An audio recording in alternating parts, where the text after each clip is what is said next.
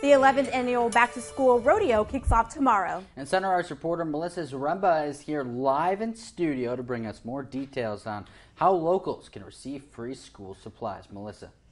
It's not too early for students to start gathering their school supplies. That's why the city of Yuma is hosting their back to school rodeo to help students prepare for the upcoming school year.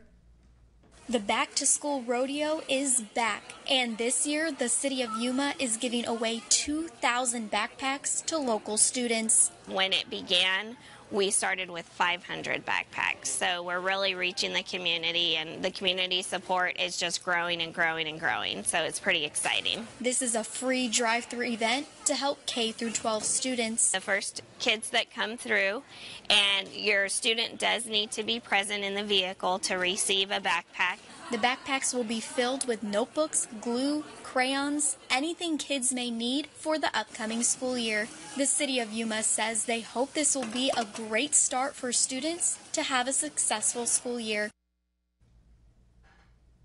The Back to School Rodeo will be tomorrow at 7 a.m. at the Yuma Civic Center, where backpacks will be given out while supplies last. For more details on the Back to School Rodeo, head over to our website at kyma.com. Reporting in the studio, I'm Melissa Zaremba. All right.